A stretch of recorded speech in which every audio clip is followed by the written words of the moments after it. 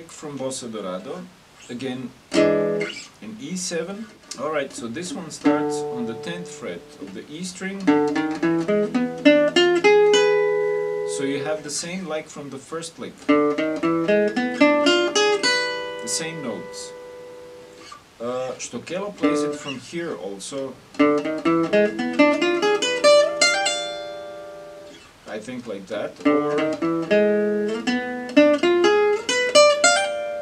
like this. But to me this is more convenient. Alright, so that's the first part. Again, I'm saying it's the same as this one. Only up here. Then I jump with the third finger to the 15th fret here. Alright, then there's this little triplet and this is this part is the same like the second lick.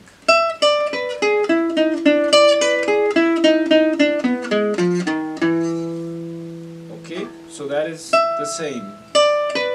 Like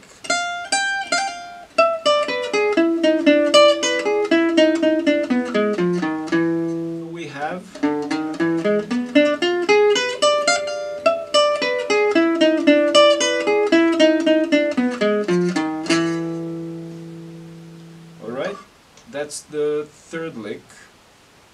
Uh, and there is another variation of this, uh, which is a little simpler. So you start the same.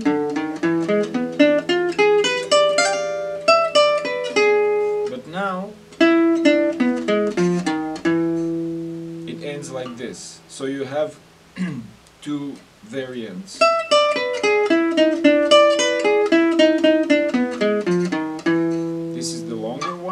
Then you have the shorter one. Okay?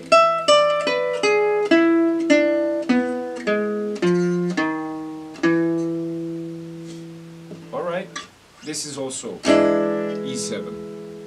Okay? Hope this is interesting to you.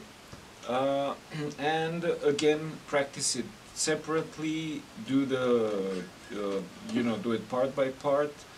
Um, find out the places where you have problems, and uh, separate only that place and understand where is the issue, what is confusing you, um, and also be aware of things like that this is repeated.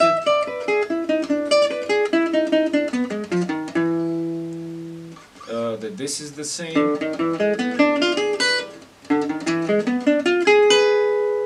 Okay, understand the right hand.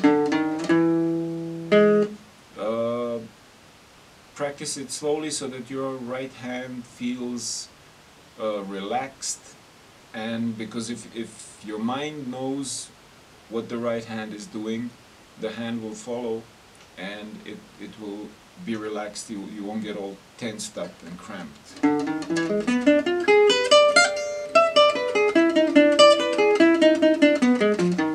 And the other one?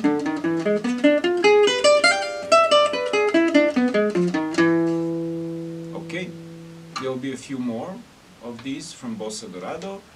Um, that's it for now. Happy trails to you. Until we meet again. Ciao.